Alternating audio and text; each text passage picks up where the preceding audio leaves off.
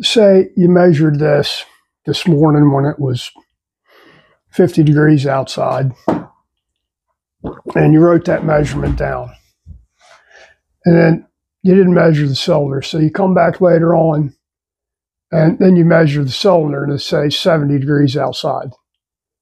Well your, your clearance is going to be off because what you measured this morning is piston was cold so it was actually smaller this morning than it was. Even even 20 degrees difference makes a difference in the size. That's why I say you want to measure them at the same time.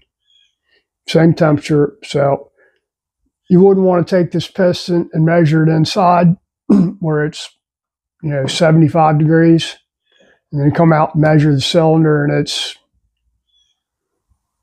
you know, 50 degrees. You get the point. So our feel here